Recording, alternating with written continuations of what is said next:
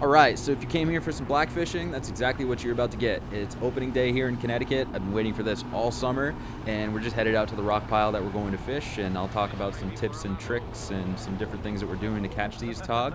Um, so thank you so much for joining, and I hope you enjoy the video. Okay, so we just anchored up on our rock pile, uh, which is really important for catching blackfish because these fish love structure. So if you've got pilings or a boulder field, anything like that, even just a single large rock under the surface of the water, uh, that's where you're going to have your best chance of catching these fish. Um, and we're using Asian shore crabs for this trip, which I have locally available. I just flip rocks for them, and they work just fine for bait. I know a lot of other people like to use green crabs or whatever other type of crab, but these work fine, so that's what we're doing. And uh, these jigs are, they're made by Wet Side Tackle. Um, and they come in a variety of sizes and colors. These ones are glow, uh, and I like them so much because the hooks are super sharp and really thick, which is important for any jig, and they just catch fish. So it's this is the jig that I'm using exclusively throughout this video. And I'm making the first cast of the day here, and I'm just lobbing the jig in so I can get it as close as I can to the edge of the rock pile.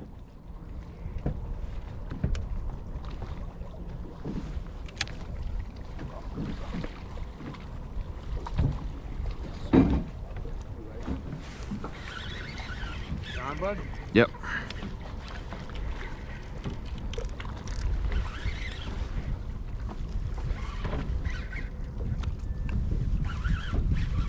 There we go. First tog. Close, man. Might be.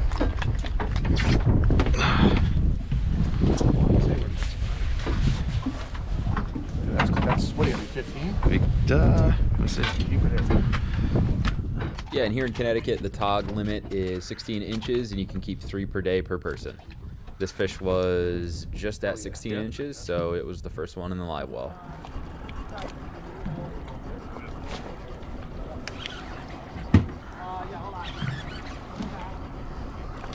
Look at you. Crushing it. Here's on the board. Is he? Yep, you got another one? Yep. Yeah. Now, blackfishing is a little bit different than a lot of other types of bottom fishing in that you're going to get a lot of taps and you need to know when to set the hook on these fish. So, how do you do that?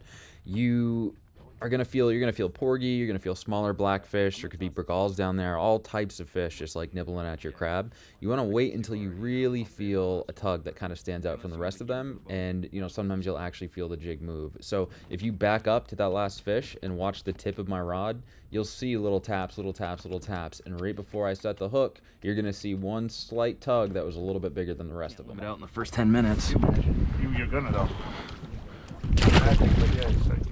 Hey, and I should mention I'm out here with uh, my buddy Glenn, who is always gracious enough to keep me on the water. Um, we've got his dad with us, and uh, also my buddy Josh, who absolutely hates porgy. favorite, my favorite fish.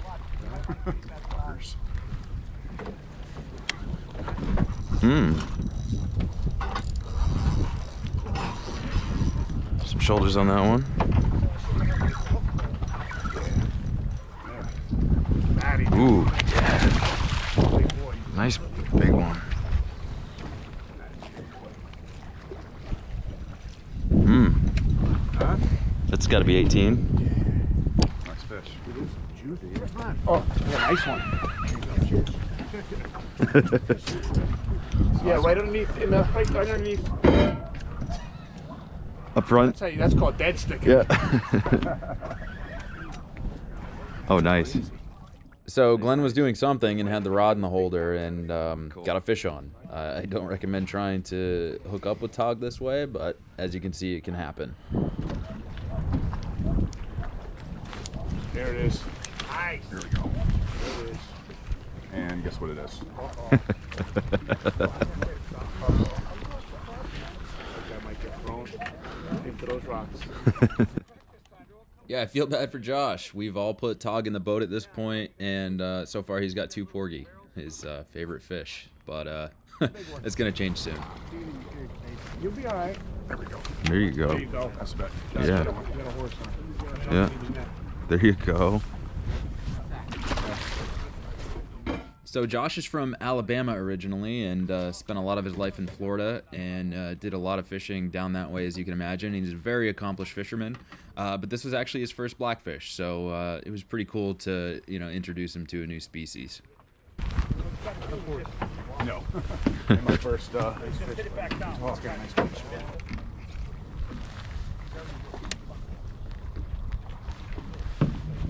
There you go. Porgy. Porgy. Fourth. Yep. No. Oh.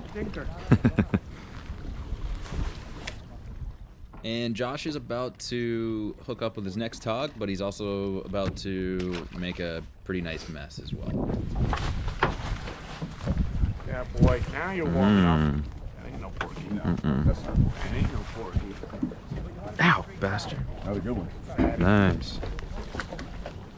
Huh? Yeah. Another fatty. Oh. Shit. That's a bag. Yeah, so out of all of the things that could happen to you on the water, um, you know, this wasn't that bad. So th- things could definitely be worse. A little bit of mess. We've got some crabs running all over the boat here. We'll get them picked up, no big deal. And uh, we'll get back to fishing. I don't think. Gosh, I want to say we had no hitters on, bro. One. Did you see that? Or just, What's that? Catch shorts. You can't do that yet.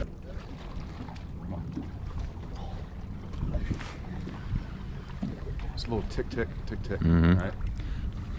Most of them are porgy. That's not. I don't think. Oh, yeah.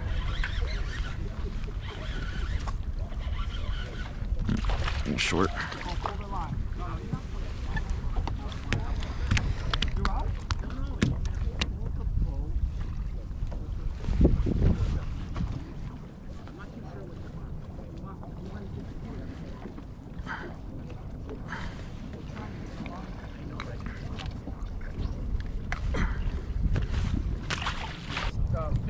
15 blackfish that's ponded in the rock. Someone's. Oh, you got you got one on still? Yeah, he ran into the rock. I saw you. that might be him right there. You got a big one, dude. Yeah, this guy's got. May not be even that.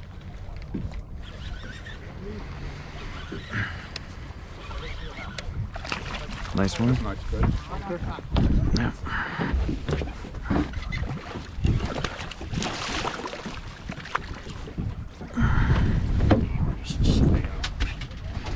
Heavy like a chunk, dude.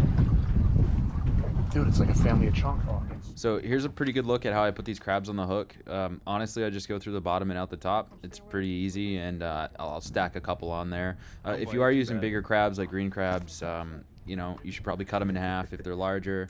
And uh, because they're so hard, you might want to go on a leg socket and then out the opening where you cut, or out another leg socket. However, but yeah, for these Asians, they're really easy. I just stack a couple on there just so that I've still got the hook exposed, and uh, it works pretty well. I use 30. Yeah, be easy here.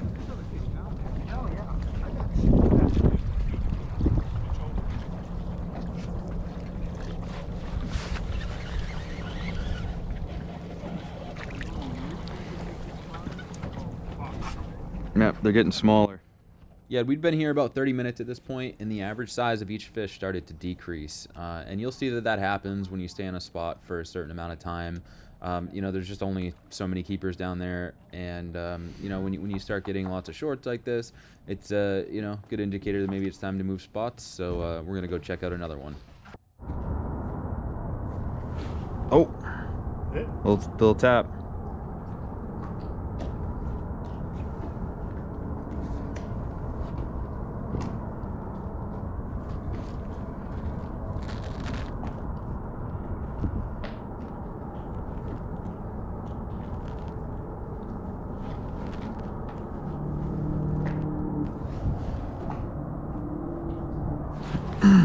There he is. Big fish. Big That's a fish. fish? Big fish. Get in the net. That's a monster.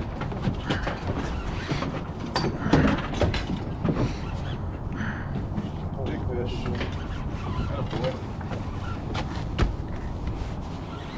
Oh, it's a monster. Yep.